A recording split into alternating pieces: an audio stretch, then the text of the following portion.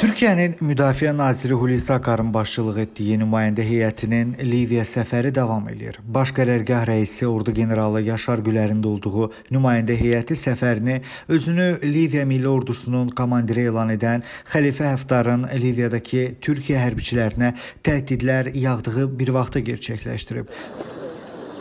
Müdafiə naziri Hulusi Akar hərbçilər önündə çıxışı zamanı bildirib ki, Liviyada vəzifə icra edən Türkiyənin hərbi qüvvələrinə qarşı hər hansı hücum cəhdində Xəlifə Həftar və tərəfdarları cəzalandırılacaq.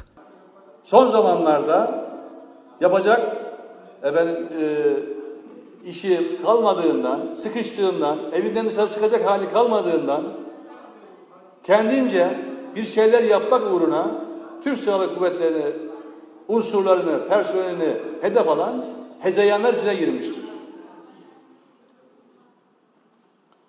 Arkadaşlar Libya'da darbeci Hafter tarafından katliama uğrayan mazlum ve mağdur ve bunlarla birlikte bu mağdurların yardım çığlığına sadece Türkiye'nin olumlu cevap verdiğini ve zulme ve zalime sessiz kalmadığını unutturmak istiyorlar kendi zulümlerini, kendi katliamlarını kapatmak için her türlü yaygarayı koparıyorlar.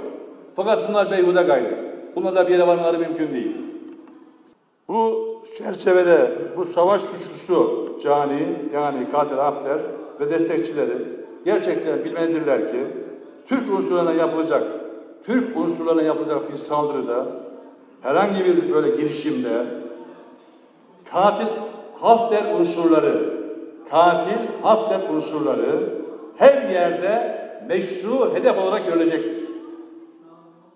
Bunu çok iyi kafalarına soksunlar.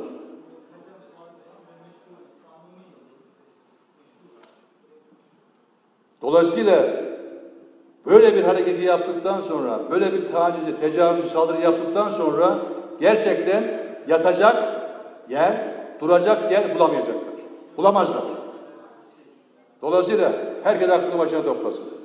Milli Həmrəylik hökumətinin Birləşmiş Millətlər Təşkilatı tərəfindən tanınan Liviyanın qanuni hökuməti olduğunu qeyd edən Akar, Liviyada əsas problem Həftar qrupu və tərəfdaşlarıdır. Problem buradan qaynaqlanır deyib.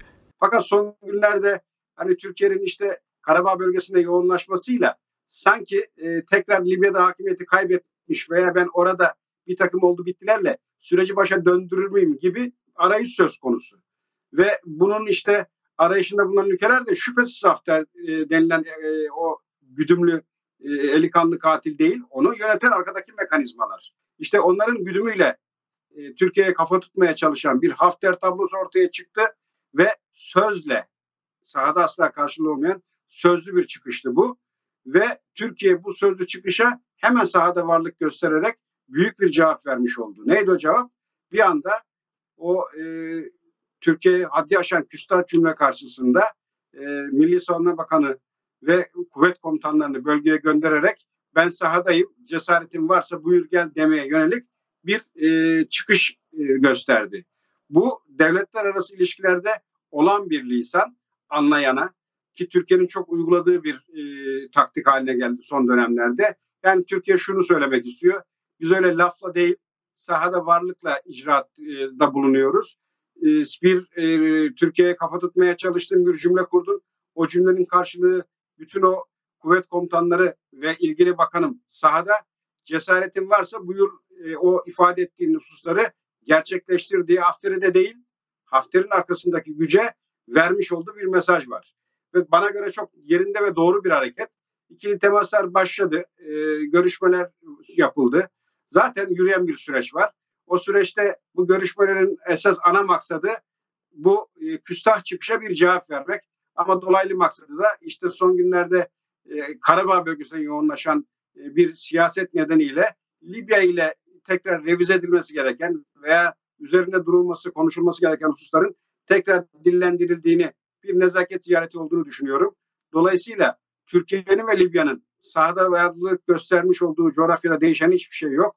E, yapılan iş ve ilişkiler devam ediyor. Hərbçilər önündə çıxış edən nazir 83 milyonun təhlükəsizliyi üçün vəzifə icra edən Türk Silahlı Qüvvələrinin Liviya, Azərbaycan və Şimali Kipr Türk Cümhuriyyəti kimi dost və qardaş ölkələrdə də təhlükəsizliyi təmin etmək üçün əlindən gələn cəhdi göstərdiyini bildirib.